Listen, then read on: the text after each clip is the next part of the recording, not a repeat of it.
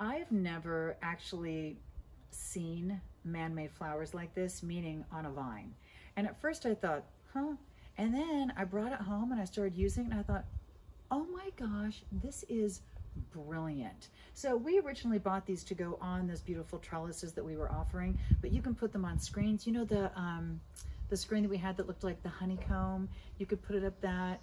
Um, the trellises were gorgeous. You could put it on the Atlas um, garden sculpture. I know that that's not available, right, but you know, any of those great things for the garden, but also things for indoors like this bird cage. And you're gonna get two longer vines, two shorter vines in each color. So with the pink, you're gonna get two longer vines in the dark pink, and then you're gonna get two shorter vines in the light pink. Purple, likewise, two longer with the deeper pink, two shorter with the lighter pink. These are the longer ones, but look how they have these little branches. Now what these little branches allow you to do is to really affix them to things. So I can take this little branch and I can just wrap it around, right? And now it will stay, if I get it all the way around, um, it'll stay there instead of just, there you go, instead of just going up. So it allows you to really weave it in and hold it in place. It's so pretty. I love the dimension. I love the color.